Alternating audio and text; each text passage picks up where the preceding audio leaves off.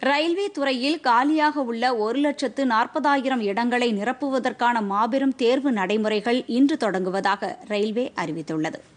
இருபத்தி ஒரு ரயில்வே தேர்வு வாரியங்கள் மூலம் மூன்று கட்டங்களாக இந்த தேர்வு நடைபெறும் என்று ரயில்வே அமைச்சகம் தெரிவித்துள்ளது. முதற்கட்டமாக அமைச்சக மட்டத்திலான பணியிடங்களுக்கு இன்று முதல் பதினெட்டாம் தேதி வரை தேர்வு நடைபெறுகிறது. இரண்டாவது கட்ட தேர்வுகள் இருபத்தி எட்டாம் தேதி முதல் அடுத்த ஆண்டு மார்ச் மாதம் வரையும். மூன்றாவது கட்ட தேர்வு ஏப்ரல் முதல் ஜூன் வரையும் நடைபெறும் என்று அறிவிக்கப்பட்டுள்ளது.